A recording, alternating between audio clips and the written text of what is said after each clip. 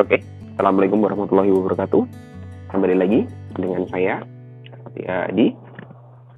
Oke, kita akan bahas teknik ya teman-teman ya. Jadi ini tadi ada satu case unik dari salah satu pelanggan. Jadi tadi menanyakan apakah uh, kilometer sudah tercapai waktunya ganti oli atau belum, seperti itu. Nah ternyata pada saat difotokan itu fotonya nggak terlalu jelas teman-teman.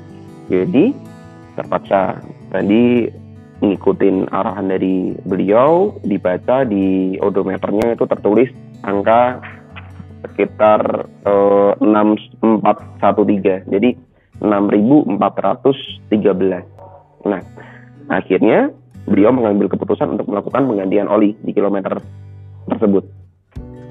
Setelah dicek sama petugas ganti oli di bengkel terdekatnya.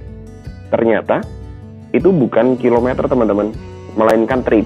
Nanti saya akan tampilkan ya di dalam video ini untuk gambarnya. Nah ini trip ya teman-teman. Terus yang ini untuk odometer. Nah, jadi di sini tipsnya teman-teman, kalau misalnya kalian mau ganti oli, jadi jangan lupa dicek dulu kilometer apakah itu benar odometer itu kilometer asli dari kendaraan atau trip.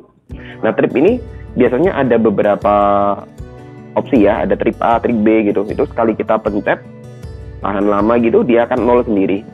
Jadi jangan sampai ketipu teman-teman. Gitu. Nah untuk menghindari kesalahan pembacaan odometer tersebut, caranya kembali lagi kita ke dealer resmi untuk melakukan penggantian oli mesin atau untuk servis berkalanya. Terima kasih. Selamat sore.